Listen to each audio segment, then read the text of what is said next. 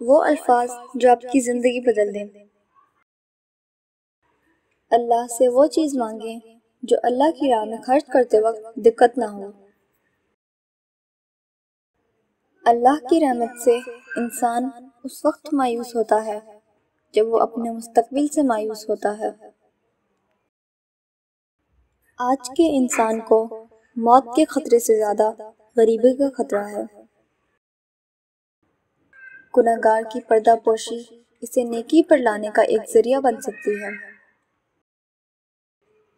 ख्वाब की ऊँची उड़ानें बयान करने से ज़िंदगी की बस्तियाँ ख़त्म नहीं होती। सूरज कहलाने का शौक हो तो रोशनी पैदा करो। दुनिया को हंसाने वाला तन्हाइयों में रोता भी है।